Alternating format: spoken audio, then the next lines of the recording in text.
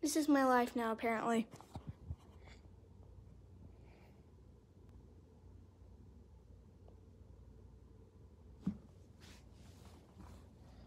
There.